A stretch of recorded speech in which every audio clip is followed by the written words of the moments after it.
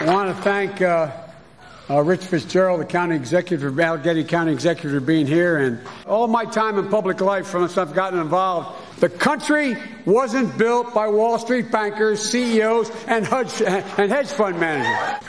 If the enterprise hit hard times, everybody took a hit.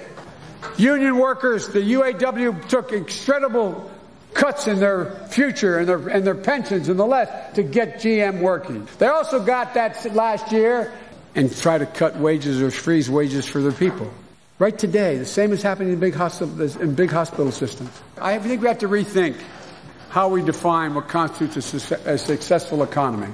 Folks in America don't think their children are going to have the same standard of living they had. How can a person dignity be maintained Uh, why, why they do that? It means investing much more in medical research to conquer, to conquer devastating diseases like cancer and addiction and Alzheimer's. So God bless you all and may God protect our troops. Thank you, thank you, thank you.